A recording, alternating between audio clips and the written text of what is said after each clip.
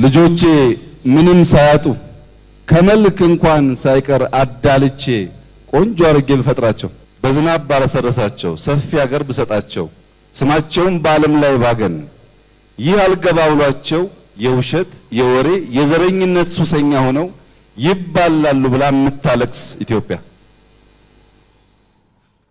ትናንትና ጠቅላይ ሚኒስትር ዶክተር አብይ አህመድ ሲኖዶሱን ሰብስበው በጽህፈት ቤታቸው አናግረው ነበር። ቤተ ክርስቲያኗ እንደማትከፋፈል ቤተ ክርስቲያኗ የገጠማት ችግር ኢትዮጵያ ውስጥ እያጋጠመ ያለው ችግር መሆኑን ገልጸው ተባብረው እንደሚሰሩና አሁን የገጠማትን ይሄ የኦሮሚያ ቤተ ክህነትን ጉዳይ አብረው መፍትሄ እንደሚፈልጉለት ቃል ገብተው ተለያይተው ነበር። የኦሮሞ ቤተ ክህነት ጽሕፈት ቤት ተብሎ የተጠቀሰው አደረጃጀት ሕጋዊ እውቅና የሌለው መሆኑን ሁላችሁም የመንፈስ ቅዱስ ልጆቻችን አውቃችሁ የግለሰቦቹን ሕገወጥ እንቅስቃሴ በመቃወምና በቀደመው አንድነታችሁ ጸንታችሁ ቤተ ክርስቲያናችሁንና ሃይማኖታችሁን ትጠብቁ ዘንድ ቅዱስ ሲኖዶስ ጥሪውን ያስተላልፋል። ሱስ አሽሽ ብቻ ሳይሆን ዘርን ከዘር ማባላት ክፉ ሱስ ነው። ሃይማኖትን ከሃይማኖት ማባላት ክፉ ሱስ ነው። የዘረኝነት በሽታ ውስጥ እንዳትገቡ እዛው እንድትቆዩ አደራ ልላችሁ እፈልጋለሁ። ከዛ በኋላ ሲኖዶሱ ጉዳዩ በጣም አስቸኳይ ስለነበረ ስብሰባ ገብቶ ነበረ።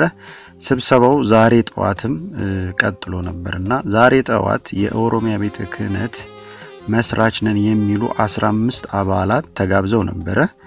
ከአስራ አምስቱ እንግዲህ አሁን የተገኙት የተባለው ሁለት ነው። አስራ ሶስቱ ቀርተዋል።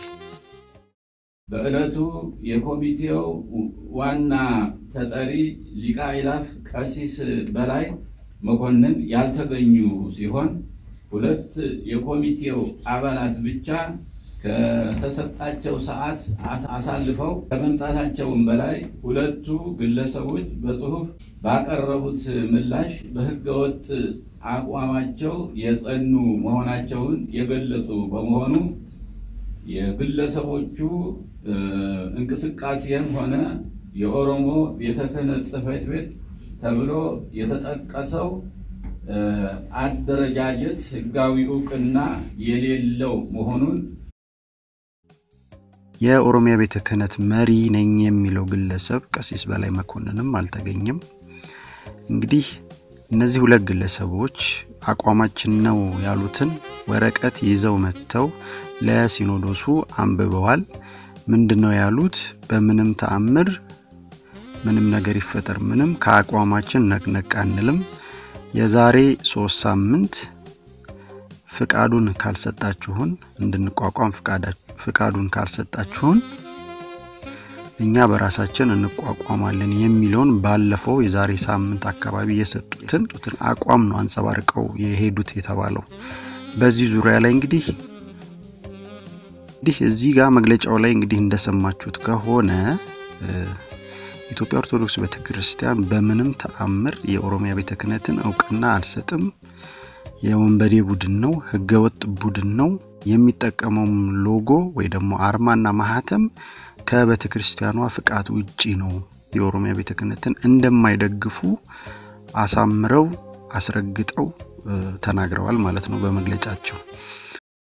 ቅዱስ ሲኖዶስ በጽኑ እያወገዘ በዚህ አድራጎት ውስጥ እየተሳተፉ ያሉትን ግለሰቦች እና ቡድኖች ከዚህ አድራጎታቸው እንዲቆጠቡ ቅዱስ ሲኖዶስ በጥልቅ ያሳስባል። ሲኖዶሱ ተሰብስቦ የኦሮሚያ ቤተ ክህነት እንወክላለን የሚለውን አካል ሊያናግር እንደሆነ መረጃ ይኖራቸዋል ብዬ እገምታለሁኝ። ነገር ግን ዋነኛው መሪ ቀሲስ በላይ መኮንን አልተገኙም። ጠቅላይ ሚኒስትሩ እነዚህን ሁለት ቡድኖች እነዚህን የኦሮሚያ ቤተ ክህነትንና የኢትዮጵያን ኦርቶዶክስ ቤተ ክርስቲያንን አገናኝቶ ለማወያየት ጉልበት አይኖራቸውም ወይ ወይስ ምንድን ነው? አንዴ ለኦርቶዶክስ ቤተ ክርስቲያን ሲኖዶሶቹ የሚሉት ምንም ነገር አይፈጠርም፣ ሃይማኖቱ አትከፋፈልም ነው። ነገር ግን እዚህ ጋር ደግሞ በህገ ወጥ የሚንቀሳቀሱትን ቡድኖች ምንም አለማለት ምንም አይነት ጠንከር ያለ መልእክት አለማስተላለፍ፣ ጋዜጣዊ መግለጫ ሲሰጡ አለመከልከል አለ። አንዳንዶች እያለቀሳችሁ ንስሐ ስትገቡ ወላጆቻችሁ ሲያለቅሱ፣ እኔ ደግሞ ኢትዮጵያ ስታለቅስ ነበር ማያት። ጠቅላይ ሚኒስትሩ በዚህ ዙሪያ ላይ ምን ያደርጋሉ? እንግዲህ ጊዜ ያሳየናል። የቱ ጋን ያለው መንግስት እኔ አላቅም። ጠቅላይ ሚኒስትሩ በዚህ ዙሪያ ላይ ወይ ነገርየውን በደንብ አላጤኑትም፣ የነገርየውን ክብደት ይዞባቸው እየመጣ ያለውን ችግር ወይ ደግሞ አልተገነዘቡትም። ተካሮ ተካሮ ከሃይማኖት ዘሎ ብሔር ሆኗል። ልክ ኢትዮጵያ ኦርቶዶክስ ቤተክርስቲያንን የኦሮሞ ያልሆነ ብሔር አስመስሎ አቅርቦ የኦሮሞ ቤተ ክህነት ደግሞ ለኦሮሞ ሕዝብ ለኦሮሞ ቋንቋ የሚታገል ቡድን አድርጎ አቅርቦ እነዚህን ሁለት ሰው ሁለት አካላት ፍልሚያ ውስጥ ለመክተት እየተቅበዘበዙ ያሉ ከፖለቲከኞች ከጀርባ ያሉ እጆች አሉ። እየሰመረላቸው ይመስላል። የኦሮሚያ ቤተ ክህነትን ህገወጥነት ወጥተው ይናገራሉ ጠቅላይ ሚኒስትሩ። እኔ አላቅም፣ እርግጠኛም አይደለውም። ሊናገሩም ላይናገሩም ይችላሉ። ነገር ግን ከመርፈዱ በፊት ወጥተው ይሄ የኦሮሚያ ቤተ ክህነት የሚባለውን አካል ከፈለጉ በሚዲያ ወይ ደግሞ ቢሮቸው ጠርተው አወያይተው ይህንን ጉዳይ በሰላም እንዲፈታ ማድረግ የእሳቸው ግዴታ ነው። እንደ ሌላው እንደ ሌላው ጊዜ እንደ ሲዳማ ችግር ነገሮች ከሆኑ በኋላ ኮማንድ ፖስት አቋቁሞ ህዝብ ካለቀ ንብረት ከፈረሰ በኋላ አድናለሁ ብሎ ያንን ምሳሌ ይዞ ወደ ወደ ሃይማኖት ግጭት ውስጥ መምጣት እሱ በጣም አደገኛ ነገር ነው። ይሄ ነገር ከመጀመሩ በፊት ነገሮች ከመደፍረሳቸው በፊት ጠቅላይ ሚኒስትሩ የኦሮሚያን ቤተ ክህነት ቡድን በቢሮቸው ጠርተው አናግረው ወደ መፍትሄ እንዲመጣ ካላደረጉ ነገርየው በጣም ወደማይሆን ነገር ስለሚወስደን ህብረተሰባችን ደግሞ ይበቀዋል። በጣም ተሰቃይቷል። ባለፉት ሁለት ዓመታት ብዙ ብዙ በደሎች አሉ፣ ብዙ እንግልቶች አሉ፣ ብዙ ጥሎች፣ ግጭቶች አሉ። አሁን ሌላ ግጭት እዚህ ላይ አንጨምር። ጠቅላይ ሚኒስትሩ እባክህን የኦሮሚያ ቤተ ክህነትን ጠርተህ ቢሮህ ቁጭ አድርገህ አናግረህ እነዚህን ሁለት አካላት አስታርቀህ ቤተ ክርስቲያኗም እንደዚህ አይነት ነገር ውስጥ ከመግባቷ በፊት ታድናት ዘንድ በኢትዮጵያ ሕዝብ ስም እንጠይቀሃለን። ይሄ እንግዲህ አንደኛው ትልቁ ኃላፊነት ነው ብዬ ነው የማምነው። ትልቅ ፈተና ነው የገጠመህ። ይህን ነገር ሌሎች ፈተናዎችን እንዳለፍክ ትወጣዋለህ ብዬ ተስፋ አድርጋለሁ። ከመደፍረሱ በፊት ከመዘግየቱ በፊት መፍትሄ ትሰጥ ዘንድ ጠይቀሃለሁ ማለት ነው። ዛሬ ይኸው የኢትዮጵያ ኦርቶዶክስ ቤተክርስቲያን ያላትን አቋም ዛሬ በመግለጫዋ ይኸው ሁሉን ነገሯን አቋሟን ገልጻለች። የኦሮሚያ ቤተ ክህነትም በመግለጫው አቋሙን ገልጿል።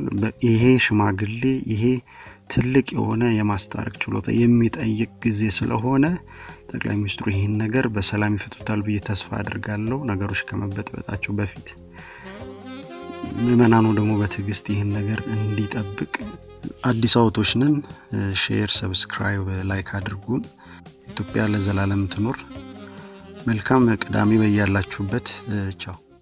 በተገለጸው መሰረት ምንም አይነት ህጋዊ ውክልና ውክልናም ሆነ ከህግ የመነጨ ስልጣን ሳይኖራቸውና የኦርቶዶክሳዊ ተዋሕዶ ቤተ ክርስቲያንን ከህግ የመነጨ መብት በመጋፋት የቤተ ክርስቲያኒቱን ሎጎ ወይም አርማ ማህተምና መጠሪያ ስያሜ መጠቀማቸው ህገወጥ አድራጎት በመሆኑ የሚመለከታችሁ የመንግስት የስራ ኃላፊዎች ግለሰቦቹ በህገ ቤተ ክርስቲያኑ በህገ ቤተ ክርስቲያኑ ሎጎ ወይም አርማና ማህተም እንዲሁም መጠሪያ ስም መጠቀም የማይችሉ መሆኑ መሆኑ ታውቆ አስፈላጊው አስተዳደራዊ እርምት በመስጠት የቤተ ክርስቲያኒቱን መብትና ጥቅም